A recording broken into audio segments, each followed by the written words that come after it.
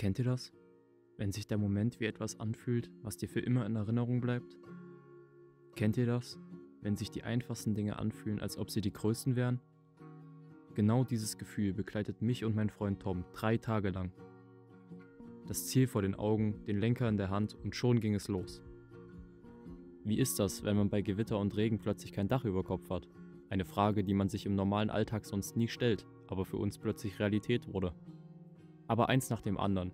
Nicht mal acht Minuten nachdem ich Tom abgeholt habe und schon gibt es das erste Problem.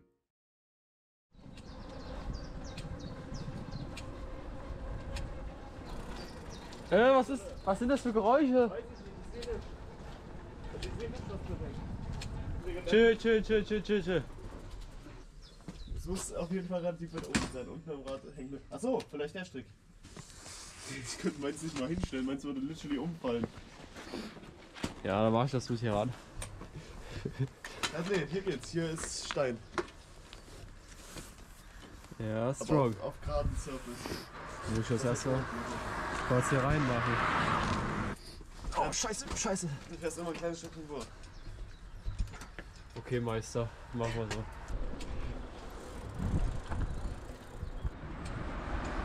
Das Geräusch ist schon wieder. Digga, wir sind keine 10 Minuten unterwegs. Oh, ich muss niesen. Ah! Warte, ich, ich muss doch mal kurz anhalten. So, was ist jetzt hier? Hier oben, das ist es. Das hier schleift am Rad. Was auch immer das ist, das ist sehr fest auf jeden Fall. Och nö, Digga. Ist Das ist der von, vom Rucksack. Was machen wir denn jetzt? Der Rucksack ab. Ja, dann setze ich den Rucksack auf. Das ist doch aber schön. Ja. Wo lang? Das Ding ist, wir hätten das jetzt auch so lassen können. Das Problem ist nur, danach kann man das Seil halt wahrscheinlich nicht mehr benutzen. Ja, danach ist er auch durchgerannt. Ja. Das wird auch irgendwann einfach nur hier durchgerammt so und dann ist ab. Ja. So, wir machen es nochmal anders. Junge, nicht mal 10 Minuten. Digga, wir müssen noch so viel fahren. Und ich hab Bauchschmerzen. Okay, ich will mich die ganze Zeit beklagen. Ja. Ich habe die Nacht fast nur 5 Stunden oder so geschlafen. Oder zumindest sollte ich 5 Stunden schlafen. Aber nein, Digga, es kam ganz anders. Ich habe zwei Stunden weniger geschlafen, als ich eigentlich wollte, weil ich auf einmal aggressive Bauchschmerzen bekommen habe mitten in der Nacht. Ja, nee, war cool. Soll ich dir irgendwas halten? Ich wüsste noch nicht, wie es war. Junge, du Profi. Ich bin Profi, wirklich. Das muss auch unten lang, ne? Wie? Ja, das muss auch unten um den Rucksack, weil sonst rutscht der Rucksack einfach raus. Ja, aber ich dachte jetzt die Tasche. Oh, nee. Digga, schön. wie, wie unten lang? Also da- einmal hier unten lang und dann Ja, hoch. halt hier unten so einen Rucksack. Komm, ich rutscht setz, ja setz den Rucksack einfach auf, alles gut. Da ist die Gewichtsverteilung noch besser. Okay, dann musst du aber die, den Gurt einstecken. Ist ja nicht schlimm. Bitte schön. Nee, den steckst du ein. Ich hab keinen Platz. Nicht mal anders, also wirklich gar nicht Platz. Bleib stehen. Schade, ich dachte, die kommt bei uns lang. Hör auf! Das ist unlustig. Hör auf jetzt! Die Frage ist, schaffen wir die 60 Kilometer in 9 Stunden? Ey Digga, aber das ist jetzt gute Verteilung, wenn du da Wasser drin hast und dann nicht so schweres Zeug und dann. Ja, natürlich. Dann ist gut. Ja, ja, ich weiß. Deswegen war ich so. Oh, scheiße. Soll ich dein G-Profi halten? Ja, hier, geh, nimm mal mein G-Profi. Hallo Jungs. Also, willkommen back. Steig auf. Mein, Hast du dein Handy schon geladen? ja, 100 Prozent. 100%. Ich auch. Ich habe 96 nochmal dran gehangen. Digga. Es ist deutlich angenehmer zu fahren. Ja. Ja, bei mir immer noch nicht. Alter.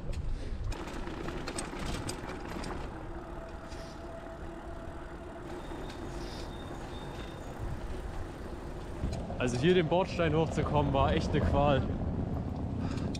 Und jetzt hier hochzufahren ist auch doppelte Qual.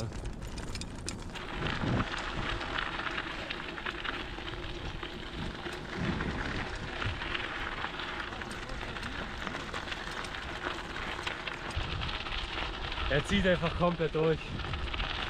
Und er macht es auch mit Absicht, ich weiß es. Ah, ist schön, ah. Ostermontag früh losfährt, ja.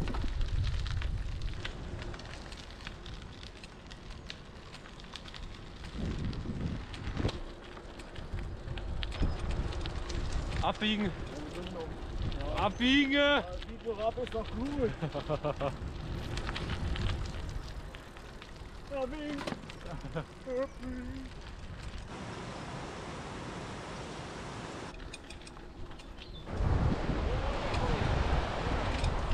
Der Junge zieht so durch. Das ist verrückt.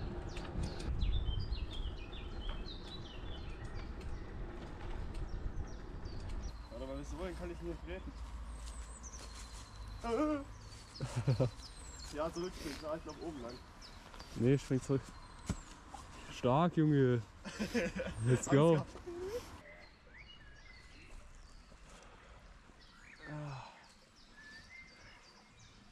Oh, es ist schön warm. Hoffentlich bleibt es auch die nächsten Tage so.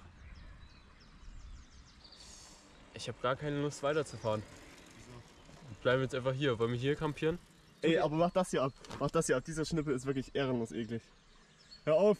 Mach den ab. Ich war. Digga, hör auf jetzt ernsthaft. Weil, tu- Nein, wirklich. Ich kann so nicht mitfahren. Das ist nicht lustig. Jetzt mach's einfach ab. Es ist nicht so viel. Wirklich, du verschwendest nichts.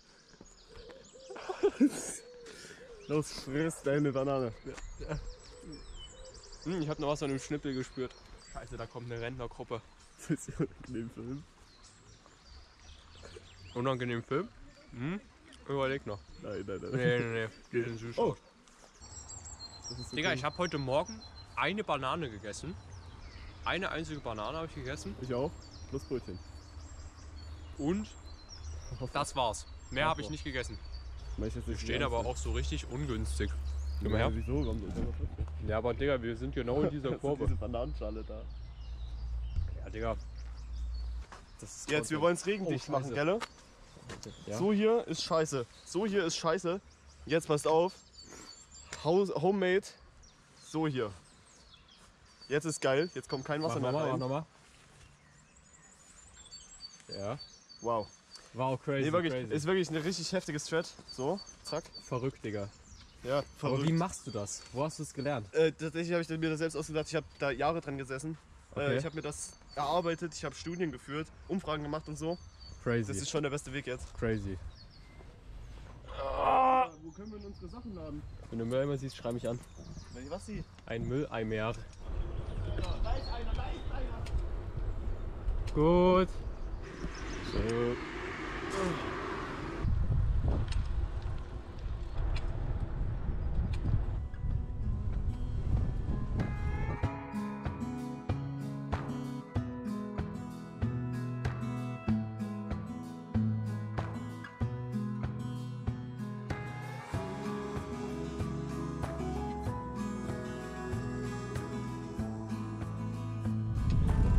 Käfer!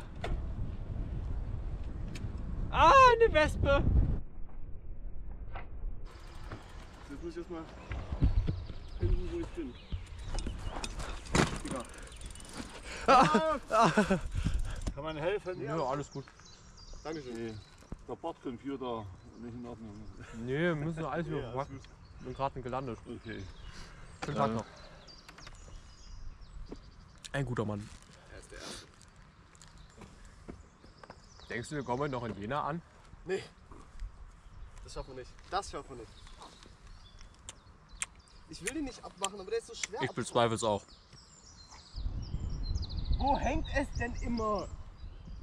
Es ist aber noch nicht auf dem Boden. Wo hängt es? So, ich hoffe, alle Kabel, Käbel und so knacken ab. Und die Käbel. Käbel? Alle Käbel. Käbel. Alle Käbel. Käbel. Äh, Käbel. Käbel! Digga. Digga.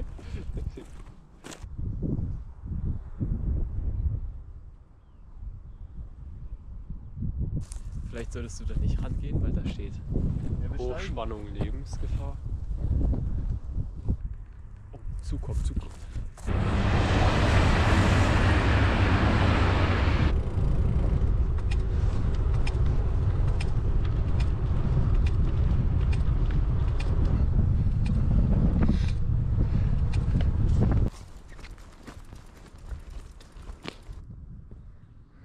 fehlt irgendwie der ganze Eingang.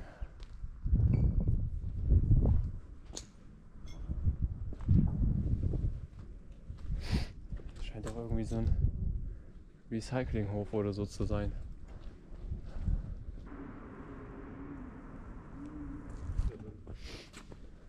Es scheint irgendwie so eine Recyclinghalle oder so zu sein. Oder so. Würde ich jetzt mal so behaupten. Ja, scheint ja so, als wenn hier die ganze Zeit überall Müll liegt und dann ist hier so Da vorne waren auch so Müllblöcke. Löcher reingemacht. Guck, das meine ich mit Müllblöcke. Ja.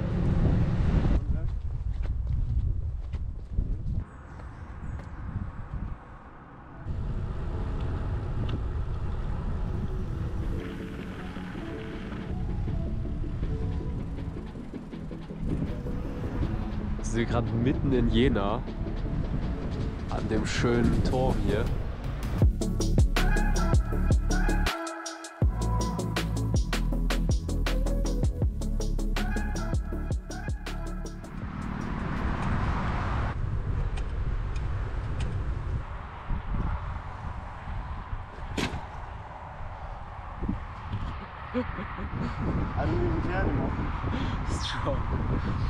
So, ich weiß nicht, ob man mich hört, weil es ist extrem windig. Aber wir haben es jetzt aus Jena rausgeschafft. Das ist schon mal ein Fortschritt. Man sieht doch die Skyscraper. Ja. Wir freuen uns. Wir, wir sind glücklich. Wir, alles wunderbar. Und weg ist er. Ja, mein Guter, wollen wir jetzt vielleicht los? Kannst du vielleicht aufhören, Angry Birds zu spielen? Komm jetzt!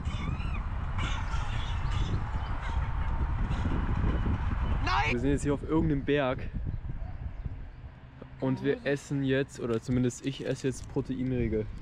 Ich hoffe, dass wir es heute noch schaffen, bis zu unserem Zielort. Oder zumindest, dass wir es so schaffen, dass wir uns noch was zu essen machen können. Ohne dass es komplett arschdunkel ist. Das kann sein.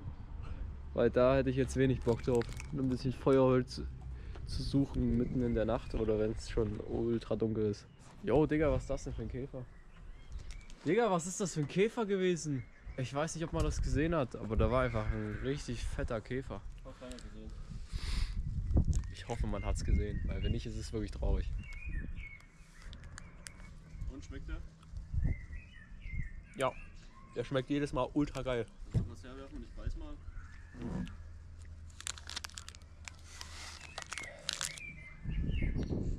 ja, dann beiß einfach bis zum Ende und dann nehme ich den Rest.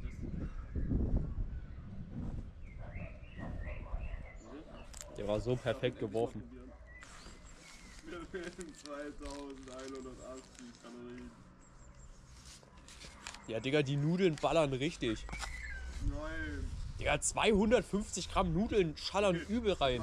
Spaghetti, gell? Nee. Nein. Egal. Ist, ist das gleiche. Ja, dann frag, mach halt Spaghetti, Digga. Das sind 875. Das ist gar nicht.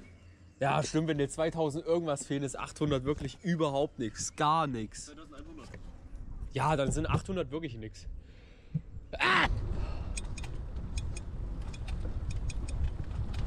Oh, Digga, bitte nicht. Was? Schau dir bitte diesen Berg an.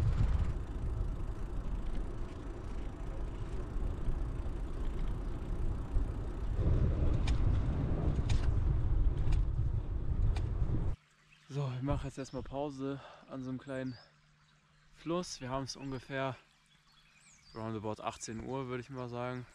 Oder 18 Uhr. 18.15 Uhr. 18.15 Uhr. Wir sind nicht mehr so weit entfernt vom Ziel. Und ich bin guter Dinge, dass wir das heute auch noch schaffen. Weißt du, was ich gehört habe? Wenn man den Berg erklimmt, wird man mit einer Abfahrt bedingt beschenkt. Weißt du, was das Problem ist? Wir klettern 100 Meter den Berg hoch und haben 10 Meter Abfahrt. Und nach den 10 Metern der nächste Berg. Ich heul gleich. Und der nächste Berg. Es ist wirklich wunderschön. Weil wir auch so viel Zeit haben jetzt zu schieben. Das ist jetzt wirklich ehrenlos, Digga. Dass wir wenigstens so zwei Seile aus dem Fenster werfen können, an denen wir uns mit hochziehen.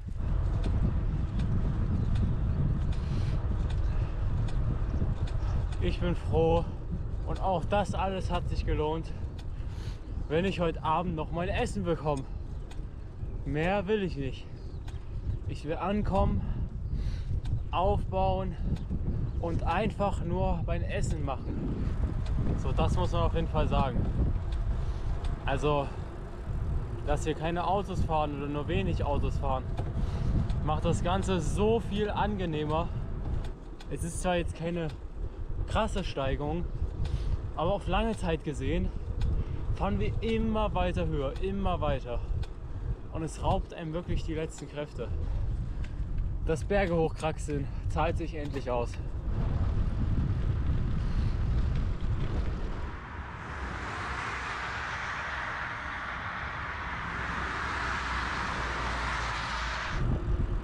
Ja, Mann! Auch mal die kleinen Abfahrten. Die haben auch was. Wir sind komplett außer Puste, weil wir die Berge und alles komplett unterschätzt haben, beziehungsweise ich. Ich hatte mich ja um die Route gekümmert, wusste aber nicht, dass es so brutal ist. Und ich habe so extrem unterschätzt, dass wir jetzt doch immer mal wieder auch schieben mussten. Der eine oder andere mag das jetzt nicht verstehen, weil es ist natürlich absolut keine Zerstörungstour oder so. Aber wir haben trotzdem unseren Spaß, auch wenn ich äh, viel vielleicht auch rumgeheult habe oder so. Aber ich bereue nichts, gar nichts. Weder losgefahren zu sein, noch die Route genommen zu haben. Weil am Ende des Tages sind wir gleich da. Wir freuen uns, können dann schön schlafen, richtig ausgepowert. Und ja, wir haben es endlich geschafft. Wir sind endlich da. Nach einer halben Ewigkeit haben wir es endlich geschafft. So Leute, sorry, dass ihr jetzt länger nichts mitbekommen habt. Wir mussten uns beeilen, weil es ist relativ schnell dunkel geworden. Wir haben jetzt hier noch ein paar Nudeln auf die kleine Buschbox gepackt. Vielleicht gibt es noch ein bisschen Tomatensauce. Und ich hoffe, dass es alles fertig wird, weil der ist relativ klein. Ich probiere den auch zum ersten Mal gerade aus. Ich hoffe, dass es alles relativ gut durch wird. Wir hören uns und ihr kriegt dann ein Zwischenergebnis. So, die Nudeln. Alter, ist meine Nase rot. Ja, Pollenallergie. Äh, die, die Nudeln sind, ich sag mal, fantastisch. gut gelungen, sag ich mal, dafür, dass wir das auf dem kleinen Ding gemacht haben. Ich fand's eigentlich echt lecker, muss ich sagen. Aber es ist wirklich gut gelungen. Wir gehen jetzt schlafen. Tut mir auch leid, dass ich das nicht alles so mitgefilmt habe, wie, wie ich das vorher gemacht habe und so. Aber wir waren so spät da, dass ich eigentlich einfach nur noch ins Zelt wollte, weil ich es eigentlich hasse, was zu kochen, wenn es dunkel ist.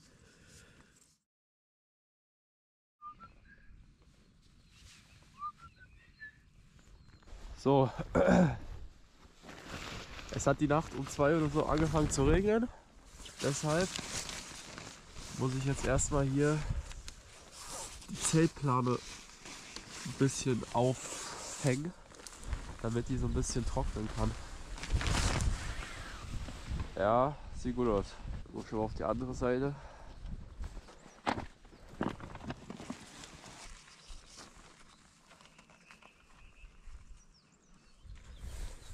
Weil jetzt die Sonne rauskommt, dass das hier einfach ein bisschen trocknen kann. Auch wenn es momentan noch nicht so aussieht, als ob das hier hält. Da hinten ist Tom. Nö, ich hab doch gesagt, dass du da bist. Ja. Ja. Wenn ich hingehe, kann ich eins streicheln? Weiß ich, ich weiß nicht, die werden bestimmt wegrennen. Ja, ich bin ja schneller. Ich bin ja human. Willst du das mit Wasser machen? Gar nicht. Es gibt heute kein Wasser. Das fühlt sich ungut an. Ja, deswegen nehme ich mir jetzt auch Wasser.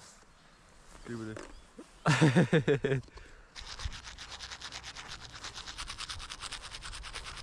hab gar keinen Bock auf die Wolke über uns. Dann sollten wir vielleicht mal ein bisschen Hühner machen. Ja, das stimmt. Sollten wir auch sowieso, auch wenn da nicht diese Wolke wäre. Gib mal meine Zahnpasta. Das hab ich nicht. Meister. Die hab ich nicht. Meister. Ich hab noch die Zahnpasta, alles gut. So können wir ein Feuer machen. Ja. Auch-